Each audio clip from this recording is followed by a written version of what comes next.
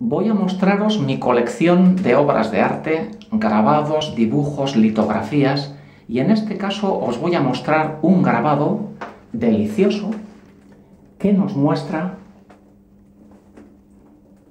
a la señorita observando a la operaria que está haciendo flores de tela, cosiendo para adornar sombreros, vestidos, etc.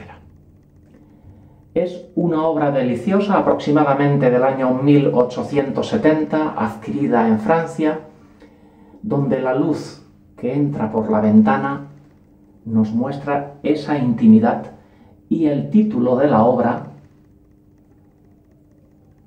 Pauvre Marie, quiere decir pobre Marie. Eso es lo que piensa la señorita que está viendo a la operaria coser. Pobre Marie. ¿Qué vida de trabajo?